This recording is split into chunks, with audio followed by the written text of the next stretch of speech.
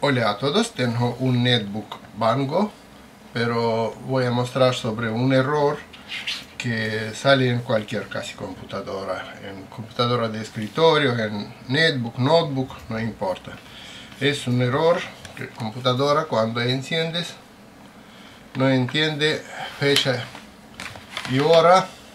Ahora vemos cuando enciende esto, cómo es.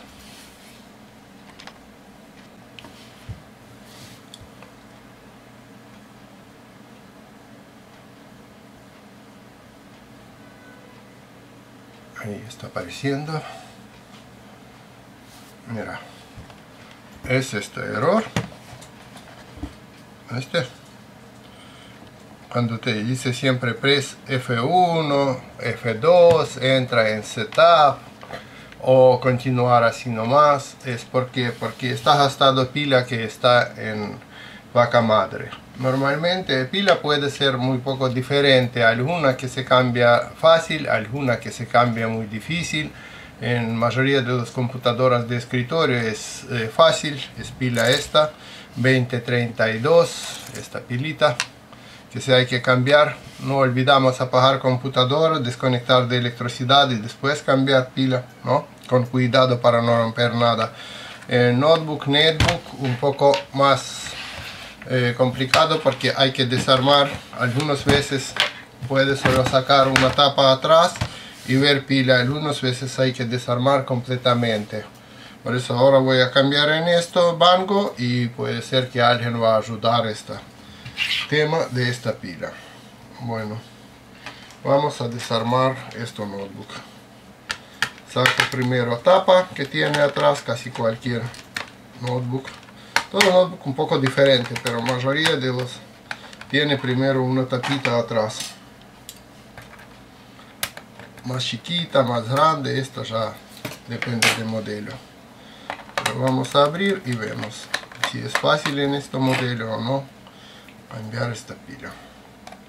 Después cuando cambias pila tenés que entrar en BIOS apretar acá por ejemplo dice F2 tienes que entrar en BIOS y configurar primera vez hora o si no puedes continuar y por internet automáticamente decir que te ajusta la hora. Bueno en este modelo hay que desarmar más para buscar dónde está pila vamos a sacar la memoria. Estas dos trabitas se abre para costado y se levanta la plaqueta de memoria así ya puede sacarlo. Se levanta estos contactos de placa de wifi y tiene un tornillo para sacarlo de acá.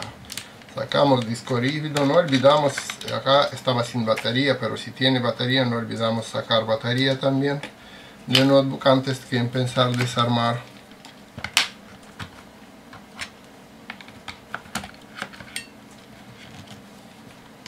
no voy a mostrar cada tornillo como saco pero ahora hay que sacar todos los tornillos que tenemos atrás. No olvidamos sacar uno esto y uno de acá que está abajo del disco rígido por eso para sacar levantar tapa y para ver placa madre.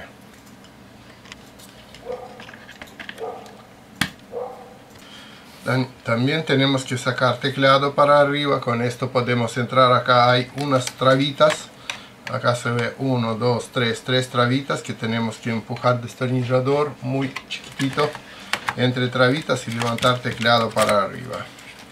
Bueno cuando levantamos teclado desconectamos flex. Este plástico se corre un poco y flex se desconecta. Teclado no olvidamos desconectar esto flex. Ahí está. También con computadoras estas hay que tener, con cualquiera computadora, hay que tener, trabajar sin apuro y con cuidado para no romper nada. Y vemos que también tenemos tornillos en tapa arriba, que hay que sacar todos estos tornillos. Hay también flex de pantalla y otro que desconectamos así, empujando un poquito, ahí, la desconecta algunas veces acá sobre esto hay como una cinta elástica que está apretada también. Hay que ver si tiene esta cinta hay que sacarlo antes. Y podemos levantar empezar a levantar tapa. Para levantar tapa usar alguna cosa plástica para no, no dañar digamos casco de, de computadora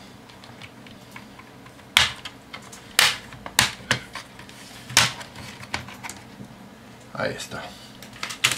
Y ahí vamos a ver esta pila que estaba diciendo que hay que cambiar viste esta. Es esta pila que dura más o menos más o menos cerca de 3 años depende de calidad de pila y todo y esta que se guarda información de qué fecha es, qué año es eh, cuando la computadora está apagada es esta que vamos a cambiar ahora. Ahora voy a explicar cómo hacer esta pila digamos casera porque no todos pueden conseguir con este conector esta pila y de este modelo. Por eso vamos a usar una pila 2032 esta y vamos a fabricar conector y todo esto. Voy a explicar cómo hago bien hay que tener una soldadora eléctrica. Hay que tener por ejemplo pasta para soldar y todas cosas. Primero de todo voy a abrir acá un poco para liberar la pila de cable. Ahí está ¿no? y voy a abrir este plástico donde pila está cubierta con plástico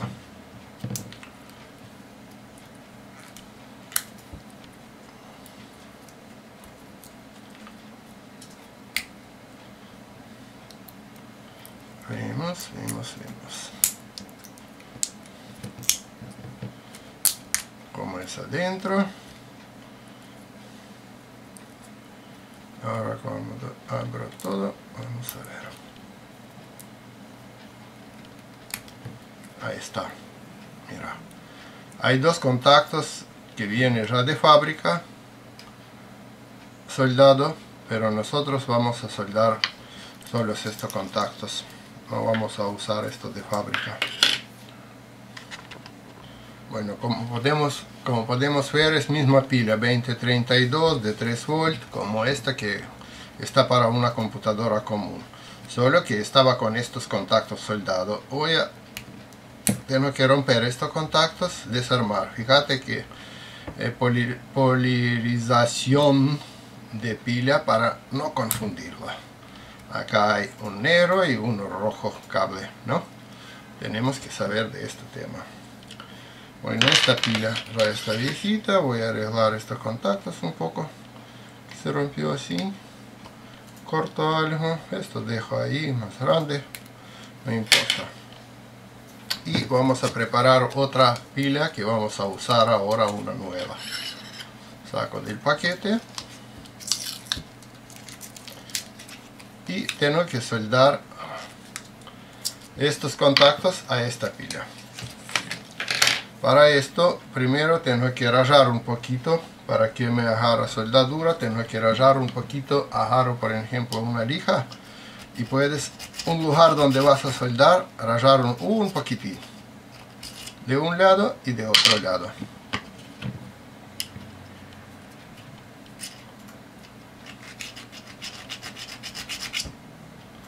Ahí está. Ahí está, rayitas. Ahora voy a eh, calentar mi soldadora. Lo mismo estos contactos también rayé un poquito. Ahí. Uno y otro. Con cosas, con parte que va a tocar pila. Por eso preparamos para que se agarre bien soldadura. Ahí está. Espero que me calienta eh, soldadora eléctrica. Bien ahí vamos. Primero preparamos un poco de pasta.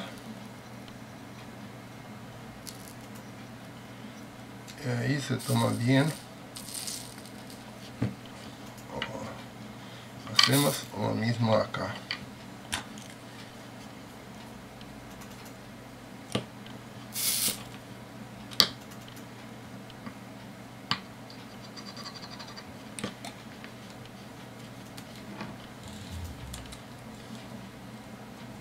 no hace falta calentar mucho solo que hay que hacer algún puntito donde se agarra bien soldadura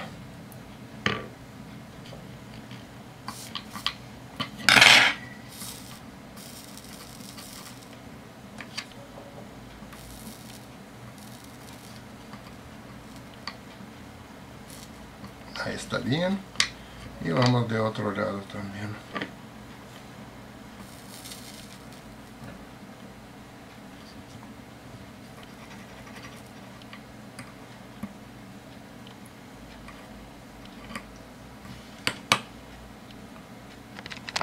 Bueno, puntos de soldadura está lista. Ahora vamos a soldar contactos.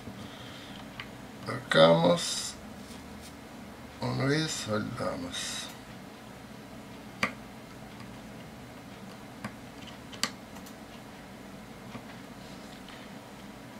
Un parte. Ahí está. Mira. Está soldado.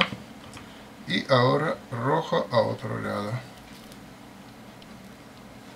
también está soldado ahí se ve ¿no? parece fábrica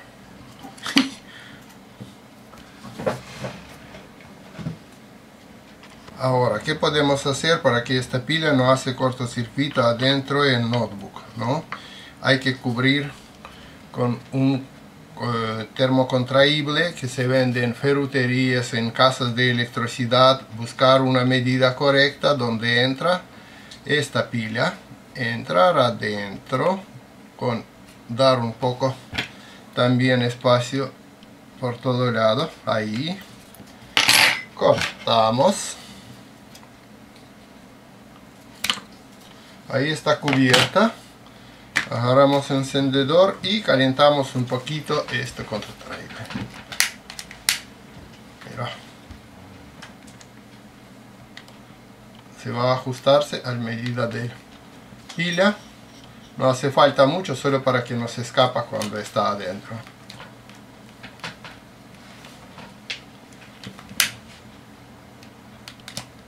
Así ahí está. Está listo esta pila para instalarse en su notebook o netbook como cada uno quiere. Bien pila ya está lista. Puedo conectar al mismo pegamento que tenía otra e instalar en netbook. Creo que no hace falta mostrar cómo voy a armar. Armar netbook lo mismo como desarmamos solo que todo al revés. Chao, hasta próximo video. Creo que alguien va a ayudar este tema de cambio de pila adentro en un notebook.